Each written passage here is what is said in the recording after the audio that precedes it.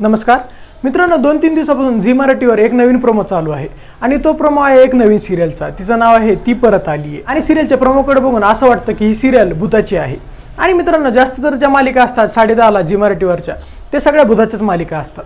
पण मित्रांनो प्रश्न असा पडतो की जर ही मालिका साडेदहा वाजता झी मराठीवर सुरू होणार आहे मग देवमाणूस मालिकेचं काय झालं? देवमाणूस मालिका जिचं इतकं टी आर पी आहे ती मालिका बंद होणार का? आणि पंधरा सोळा ऑगस्टला जी नवीन मालिका सुरू होणार आहे त्यामुळे पंधरा ऑगस्टला देवमाणूस मालिकाही संपणार आहे का? असं सगळ्यांच्या मनात प्रश्न पडला असेल. व या प्रश्नाचं उत्तर आज मी ह्या व्हिडिओमध्ये देणार आहे. तर मित्रांनो तुमच्या प्रश्नाचं असं उत्तर आहे की देवमाणूस मालिका बंद होणार आहे का? तर नाही मित्रांनो देवमाणूस मालिका ही बंद होणार नाहीये. तर देवमाणूस मालिका ही आता जशी साडेदहाला होती आता ती साडेआठला येणार आहे. कारण की आगबाई सुनबाई ही जी मालिका होती ती आता बंद होणार आहे.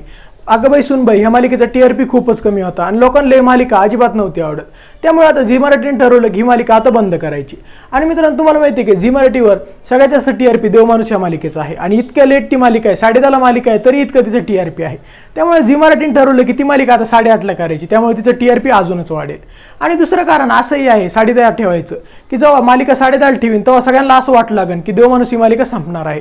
आणि त्यामुळे देवमाणूस मालिकेचा आपोआप टी आर पी वाढत जाईल. मित्रांनो तिसरं असं कारण आहे की मालिका साडेदहावरून साडेआठवर शिफ्ट केली. ते कारण असं आहे की बिग बॉस मराठी मित्रांनो तुम्हाला माहिती आहे की बिग बॉस मराठी लवकरच सुरू होणार आहे.